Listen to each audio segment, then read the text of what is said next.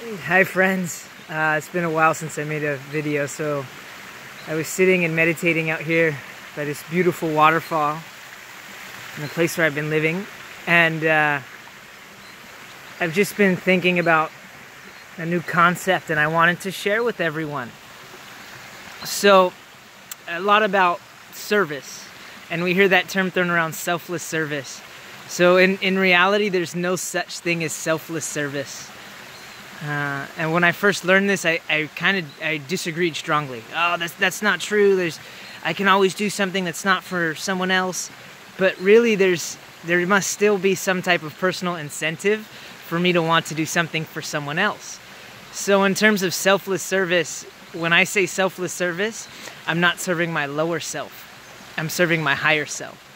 Most of the times when we do something, I'm trying to make money. I'm trying to impress a girl, I'm trying to do something, it's because I want to serve my lower self. I want to serve my ego. So when I take that lower self out of the way, I start to serve my highest self, serving the higher self, and uh, serving the divine in me, or serving God, or serving that aspect of me that is divine. And that's what I mean by selfless service. Uh, so I've been playing with uh, three types of service. And the most important type of service is serving myself. The most important thing I can do is take care of me. When I'm trying to help someone, uh, the most important person that I have to help is myself. Because if I don't take care of myself, if I don't do my daily spiritual practice, if I don't take care of my own needs, I'm no good to help out anyone else. And a lot of the times I see people, and this includes me, is I have to get out of the way of my own success. It's so easy to get caught up on an interpretation of our value. I won't do that because this is not right, or I was brought up a different way. But when I get out of my own way, sometimes I see I'm so much closer and success comes so much faster than I could have ever imagined. So, getting out of the way of our own success, big time. The second most important group of people we can help are those who ask for it. So when somebody comes and asks for help, it's really important that you give that person help because they've been humble enough and they see a quality in you that that dictates they may be able to grow or they may be able to learn from your previous experiences. So anytime anyone specifically comes and asks for you for help, go for it and do it. And I mention this because of the third category is that people that don't ask for help. So a lot of times I would always want to try to help everyone. And because I'm trying to help everyone, I would forget the person who comes and asks me specifically for help. Because I'm I'm trying to help everyone who's out there. So I didn't I misidentified the importance of the person who came to me and asked me for help. So let's get back to this third group, the people who don't ask for help. First of all, I believe true wisdom is allowing people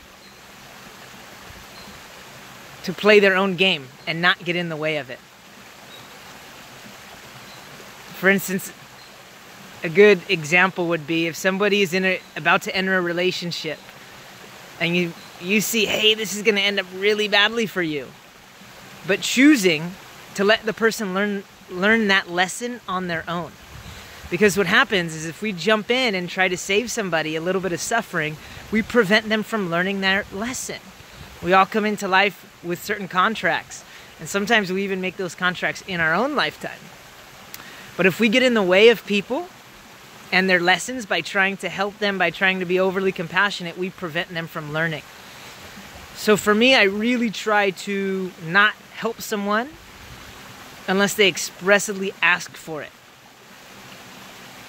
Now, again, if they come to my yoga class or if it's in a context where they're coming to me for help already, sure. And then the important thing is if there's someone that I really do want to help, I may ask and say, hey, look, can I help you? Is, is it okay if I give you a little bit of help in this instance?